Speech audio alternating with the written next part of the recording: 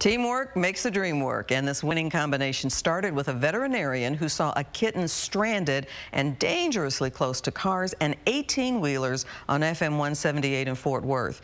Dr. Stephanie Hutchison parked on the service road, picked up that kitten, and drove to Alta Vista Animal Hospital in Keller. But Kitten energy never stays still. Her tiny feline passenger roamed all over the inside of her truck and ended up stuck under the dashboard. The vet crew tried, but after hours in triple digit heat, Kitty wouldn't budge.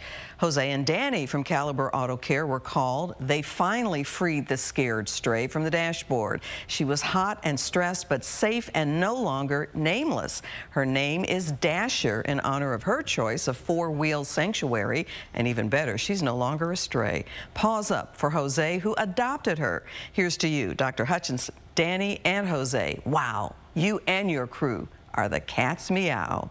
Let me see more good people doing good work in North Texas, people who make a difference. Send video or photos of them in action to clarice.tinsley at fox.com. Fox 4 is here with you.